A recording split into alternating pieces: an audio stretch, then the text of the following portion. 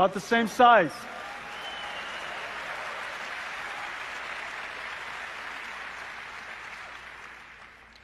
The soul of NVIDIA, the intersection of computer graphics, physics, artificial intelligence. It all came to bear at this moment. The name of that project, General Robotics 003. I know. Super good. Super good. Well, I think we have some special guests. Do we?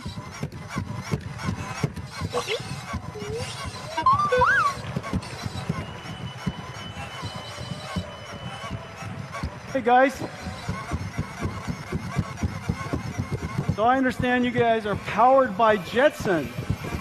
They're powered by Jetsons, little Jetson robotics computers inside.